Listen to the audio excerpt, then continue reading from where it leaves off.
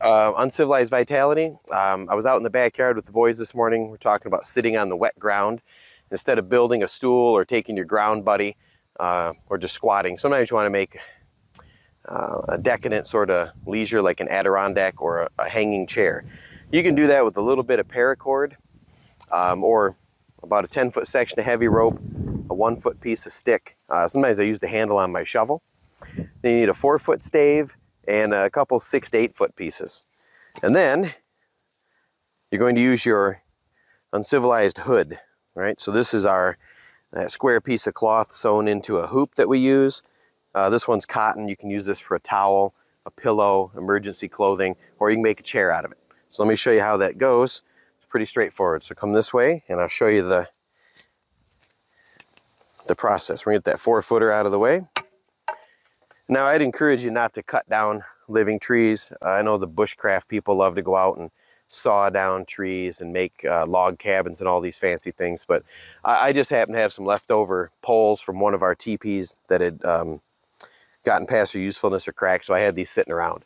Otherwise, you could use some straight dead limbs as long as they're strong enough to support your weight. So first thing I want to kind of do is I'm going to take the end of my heavy line and I'm going to throw just a clove hitch on one of these poles, right? about a foot from the end. Then I'm going to lean that against the tree and cross the other one to on top of that.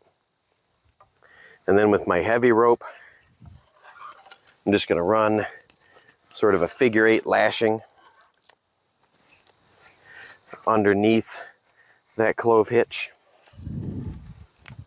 You could do this with paracord too, but after I figured eight a couple times, I will wrap around the top once and then throw a couple of fraps around this. The idea is just to make a just a general lashing and then leave yourself about four foot of your heavy rope. Right? Then the other end, about a foot down or so, you're gonna make a simple cow hitch or lark's head and slide that one foot piece through there. Now if you've made that cow hitch or lark's head, you can secure that with an overhand knot just so it doesn't come undone. So now you've got this. This is going to sit behind this the crotch here and suspend your hood. That's it. That's all there is to it. Now I'm going to pass this rope through one bit of my hood. So the hood's hanging from that loop of uh, rope. Now I can adjust this later if I want it to be a little higher. You take the four foot part, you run that through the bottom of your hood and lay it across uh, the sticks. That's going to have to be a little higher actually. So with the simple cow hitch, if I find I've cut that too low or hung that too low, I can just tighten that right up real quick. We can get that laid back there so that's caught. Now the hood's up a little higher. Run your four foot stave through the bottom of your hood so that it catches on these uprights. Now you could get fancy and cut some cut some notches for this to rest in, or you can come in and maybe take another piece of paracord in your pocket and lash those in place. But if you're just looking for a quick rest, it's not really that necessary. Spread the bottom of your hood out so it's hanging like this. Brace yourself on the uprights. Sit your butt right down in there and just relax. So this is a simple Adirondack chair. Uh, make this out of the two six to eight foot staves leaning against a tree. Um, sometimes you can find deadfall in the proper position. And then you just have a, a four foot, it's got to be pretty sturdy. You wouldn't want to use your trekking pole or anything. And then it just, um, that little piece that I threw behind the crotch of this upright, I can make a tripod if I can't find a tree to lean against. When I'm done, I could pull my walking stick back out.